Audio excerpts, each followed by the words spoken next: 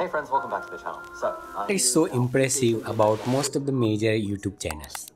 Script? Yes. Sound design? Yes. Storytelling. Of course, but on the top of that, ultimate video editing.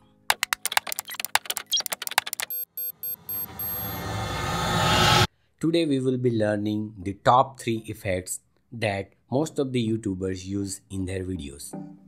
First is Jiggle Wiggle, which is always there in Ali Abdaal's video.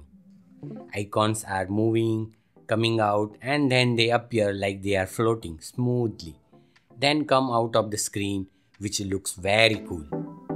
By the way, you can download the project file to practice it along. So to create this effect, apply scale to the logo. After scaling it down to 0, move to some frames to make it 100%. So it creates a basic pop-out animation. You can also change its position. Then you can either press F9 or right click, go to keyframe assistant and select easy ease to create this smooth movement. To make this movement blurry, you can add motion blur by selecting this option.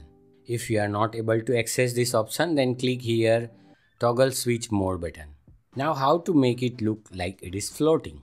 Select the logo and press P for position and by holding the Alt key or Option key, click on the stopwatch icon. So the expression window will open and you have to write a wiggle expression which includes two values. The first value is for how many times it will move in 1 second and the second value is for how many pixel it will slide. Let us add 1 and 30 and click outside so we'll get this. Looking cool, isn't it? If you want to change the movement, then just change the value to make it fast or slow. Now to move it out during the exit, click on this 3D layer icon and animate the Z axis to move it outside. The second cool effect is a dancing letter, which you might have seen in many videos. To create it, add a text layer then use the turbulent displace effect to add it to your text.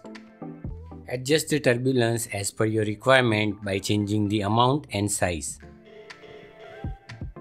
So now if we add motion to it, it will appear like they are dancing. So if you select this random seed option and play around with it, you can see that it is dancing. For each random number, it generates different movement. So again, we can automate this process by adding expression. So by holding the Alt or Option key and clicking stopwatch, you can open the expression window. Write random 10,000, which means any random number between 1 to 10,000. But if it is very fast, then you can add posterized time before it. Add value of 6 so it will change only 6 times in a second. So if your composition is 24 frame per second, then it will be changed to every 6 frames. And if you are frequently using this effect, then you need not to repeat the same steps again and again. You can save it by selecting the effect and going to animation panel, selecting save as preset as a user preset and then using it the next time you want to create the same dancing effect. The third effect is this looping texture background. Okay, so I have imported a paper texture background. Now we will animate its position by adding 5 keyframes by changing its position after every 5 frames. So now this texture is moving, but we have two problems here. One is it shows movement while moving between frames. The second problem is animation stops after 5 frames. Let's fix that. So for the first problem, select all the keyframes and right click and select toggle hold keyframes. So now it will not move in between the frame. And what about the second problem? For infinite looping animation comes to 5 frames after the last keyframe position, copy and paste the first keyframe at this frame so it sets the starting position. Then click on the stopwatch after holding the Alt or Option key just like we did before. Now write down in expression loop out. Now it will loop infinitely.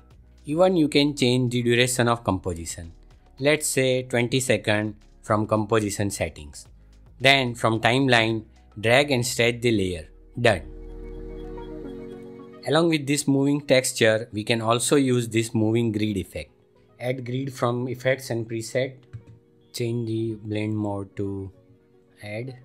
You can set the width and height using size from this option. You can animate its position